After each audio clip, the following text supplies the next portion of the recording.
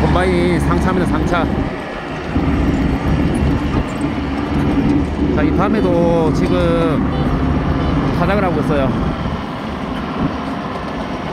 이렇게 트레일러가 크면 이렇게 전진으로 해서 올리시면 됩니다.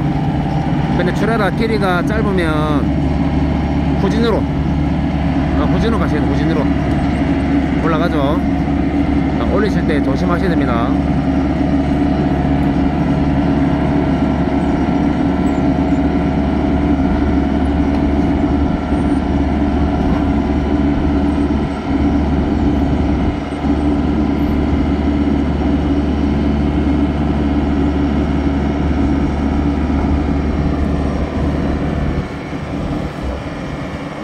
앞에 H부 안 부딪히게 조심해서 올리시기 바랍니다.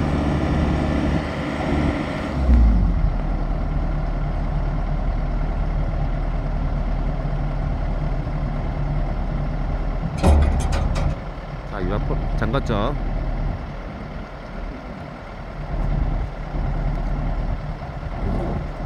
자 뒤에 컴백 흐르지 않게 방목을 한번 받쳐주세요. 네. 오라이 출동!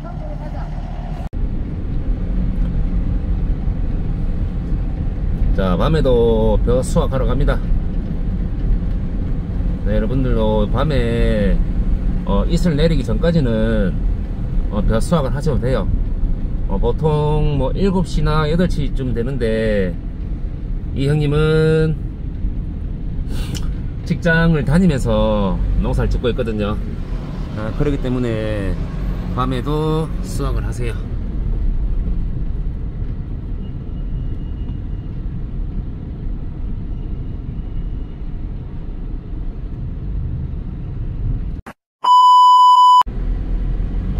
자 기계가 약간 뒤로 밀려서 제지대를 다시 받치고 출발합니다. 참 이 가을에는 이 농부들이 밤낮이 없습니다 이게 이게 시간 싸움이다 보니까 어, 참 이게 뭐 그래요. 뭐 과속도 많이 하고요. 솔직히 말하면 예, 밤에도 하면 안 되는데 밤에도 많이 해요. 언제쯤이면 농부들이 마음껏 편히 농사만 지을 수 있을까요?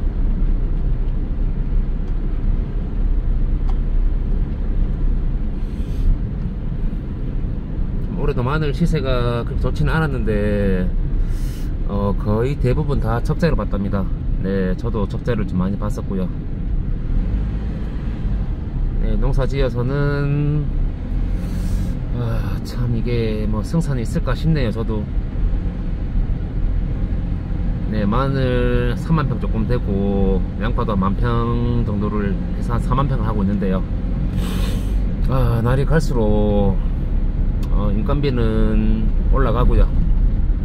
네, 2023년도 6월달에 네, 마늘 수확기 에 비가 많이 왔었거든요. 네, 그때 아주머니 한 분 인건비가 19만원 같았어요 19만원. 19만원씩 하다 보니까 이게 농사를 지어도 남는 구조가 아니고요.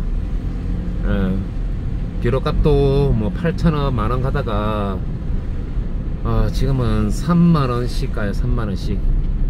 농락도 20%씩 다 올랐고요. 뭐 종류에 따라서는 안 오른 것도 있는데 제가 느끼기에는 뭐 생산비가 한 3배 정도 오른 것 같아요 3배. 제가 처음 2018년도에 기농할 때는 그때 아주머니 이제 마늘 심는 인건비가 어, 많아봤자 7만원 8만원 했었거든요. 에, 그런 인건비가 지금은 현재는 16만원입니다. 2023년 10월 6일. 네, 마늘 파종하는 아주머니 이제 인건비는 16만원이고요. 네, 뭐 기름값 뭐 다 올랐죠. 약간 답이 없네요 저도. 아이고 이거 어떻게 해야 될지 농사를 참. 아이고 참. 형님이 지금 바람도 많이 불고 위험해서 어, 작업을 하려고 했는데 지금 그냥 철수를 하자입니다. 그래서 이제 철수하러 왔습니다. 자, 안전하게 마무리하고 저도 이제 여기까지는 촬영할게요. 감사합니다.